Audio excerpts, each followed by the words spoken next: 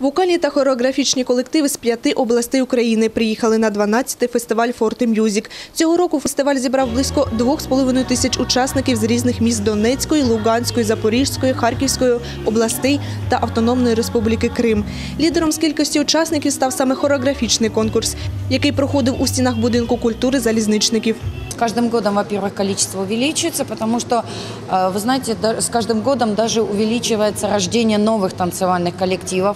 Слава богу, Украина развивается. Конкурс поділявся на молодшу та старшу категорію. Також було два види танцю. Спочатку учасники представляли хореографію в народному стилі, і другий танок мав бути естрадного направлення. Багато хто з учасників не вперше підкорює фестиваль «Форте Мюзік». Мы приехали из Мелитополя, коллектив дебют. Сегодня у нас был танец Тарантелла.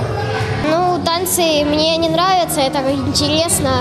Натомість цей колектив непрофесійний і вперше на фестивалі. Але задля перемоги дівчата приклали багато зусиль. Мы готовились около месяца. Э, Каждый день были занятия по пять э, часов. Мы впервые на этом ч- фестивале, а он э, существует еще э, в две- с 2009 года.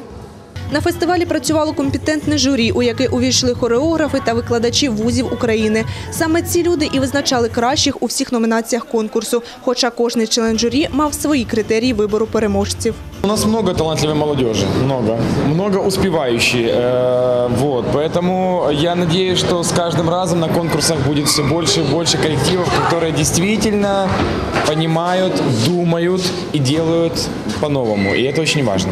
Новаторство, новаторство, вот что важно. Вот одно время э, только современная хореография развивалась и э, была модна.